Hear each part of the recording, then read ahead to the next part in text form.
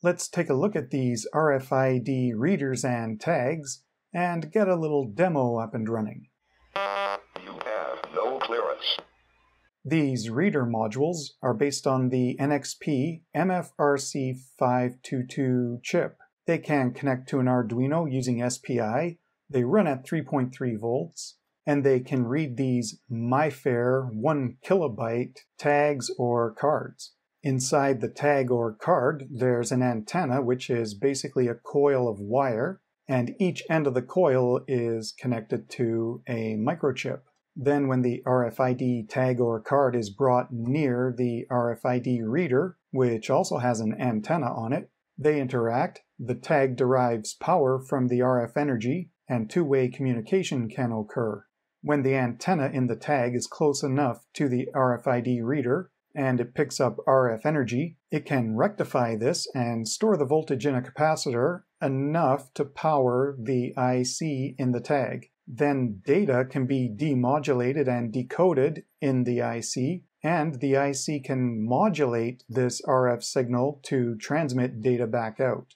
So when the tag comes near the reader antenna, the tag gets powered. The reader can then communicate with the tag, read out the info, or write to its 1K data space. With this RFID reader module, the RC522 chip interfaces with these MIFARE 1K data cards or tags, and it runs at 13.56 MHz. The reader is designed to run at a maximum of 3.3 volts nominal supply. We're connecting it to an Arduino with SPI.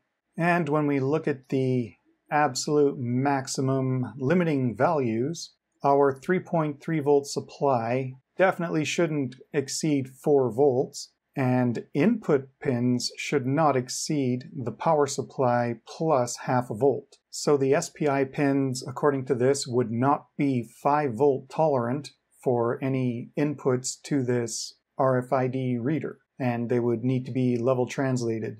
Looking at the RFID tag or card side, here's an example of the MIFARE 1K data cards. Here's the card with the IC and the antenna, picking up energy to derive a power source and communicating both directions, with the 1K data space E squared prom. The cards in this system have a 4 byte NUID.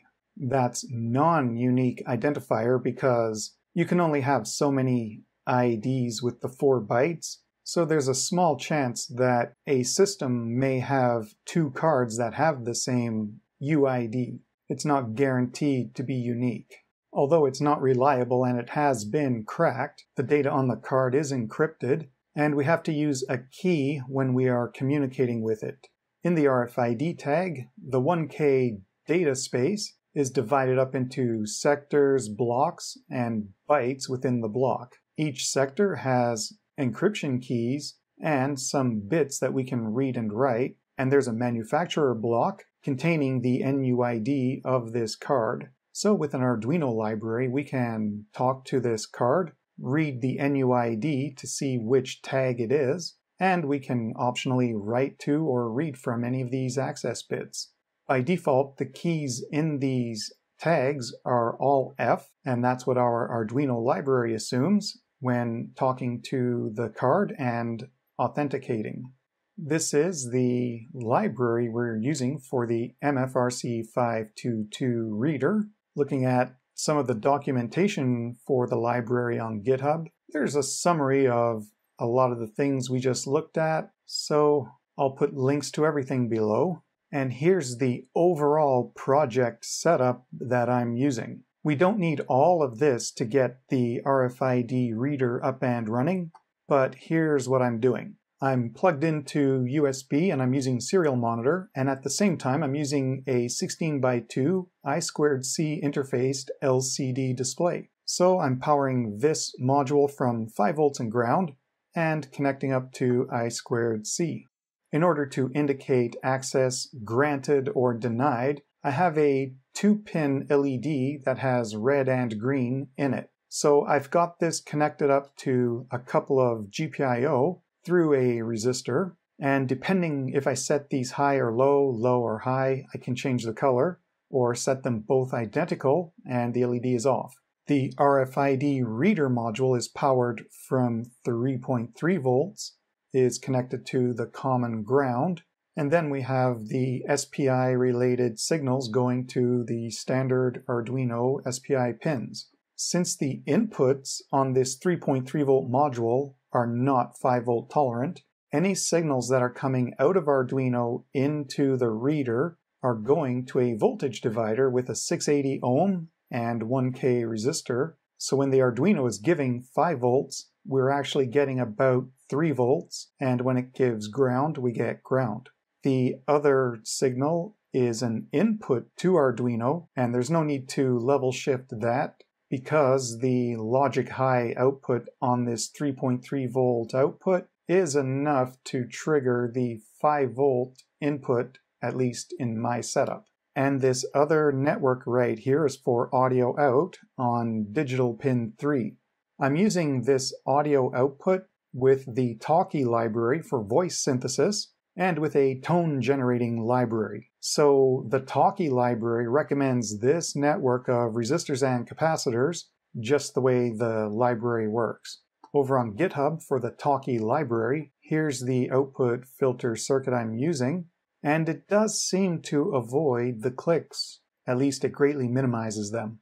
But the signal is so weak we actually need an amplifier with a speaker, so I'm plugging this into a battery-powered little amplifier. We've looked at the Talkie library in a project video before, so I'll link to that. And I'm also using this timer-free tone library. I want to generate a few tones, but the normal Arduino tone library uses timers, and Talkie interferes with that, so this timer-free tone library worked perfectly fine for what I'm doing right now. And whether I'm generating speech with Talkie or a tone with the timer-free library, I'm sending all audio out on pin 3, and it all works fine with this filter and the amplified speaker I'm using. So let's take a look at a few of the library examples for the RFID reader, then get all the rest of these peripherals up and running in a little system.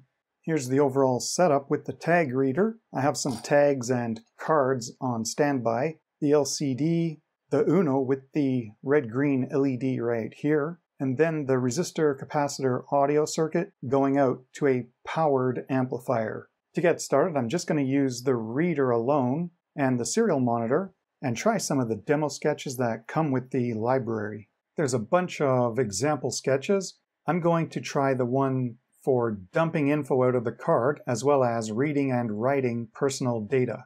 When I use the dump info sketch, the serial monitor shows that we are waiting to scan a device to see what type it is, what its unique ID is, and what the data blocks look like. So I'll take a tag and lay it there long enough for it to read all the info. So down here, these four bytes, 30, 38, 16, A3, if we scroll back up, those bytes are the UID for this tag. And the sketch could also verify it's a MIFARE device, 1K size. So we have all of this user data available here. I already have another tag that I've put some user data in. So if we look at that, we're going to see the data here starts to fill in. So here's a unique UID again, and some user data written into this tag. Now I uploaded the demo sketch for writing personal data. So if I put a tag on here, this sketch is configured to write a last name and first name. So it detected a card and it's waiting for me to enter somebody's last name. So we'll write a last name and end it with hashtag, send this. And it successfully wrote. Now it wants the first name. Success. So now this tag has some custom data that we can read back in another sketch. Now I've uploaded the other sketch for reading personal data out of a tag, and it's waiting. So I'll put the one I just configured on there.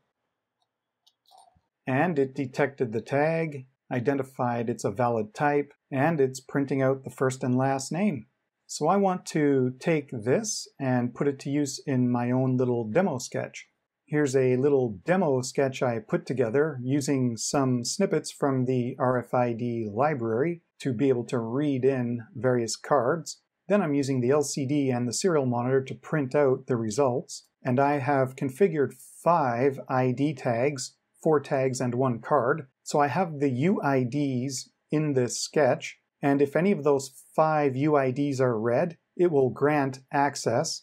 If not, it will deny access. So this could be used to grant access to a door lock, for example, and whether access is granted or not, the result will go out on the serial monitor, an LCD display, and there's going to be audio indicators with a little tone and some synthesized speech. So I'm using the Talkie library for the speech, which we've covered before, and to generate a tone, since the Talkie library is using timers, the normal Arduino tone command wasn't working, so I got this timer-free tone library, and that allows me to generate tones.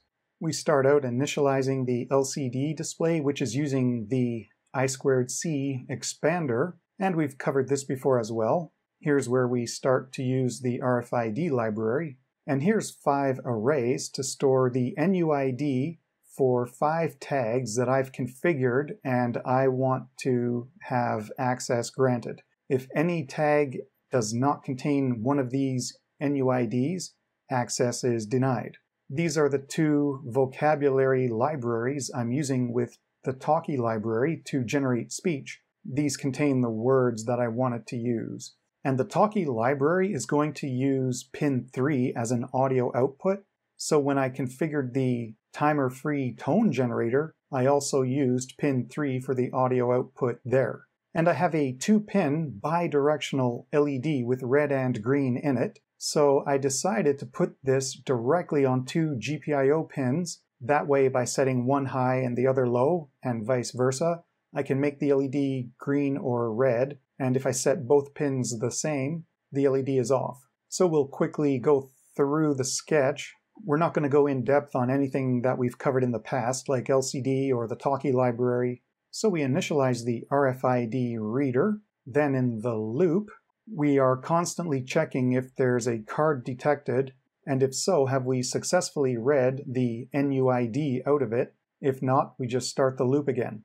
Once we've successfully read a card, we start out with access not being granted, and later we will grant access if required. So we go in and read the info out of the card and make sure it's a valid card. And once we know the NUID of that card, we compare it against those five hard-coded cards. If the card we read is one of the ones that are valid, we grant access. Now, if access has not been granted, we print out the access denied message, turn the LED red, and print out the info on the LCD and serial monitor. Then we generate an access denied tone, and we get the voice synthesizer to say you have no clearance. And we're pretty much done now that we've read the card and decided this user does not have access.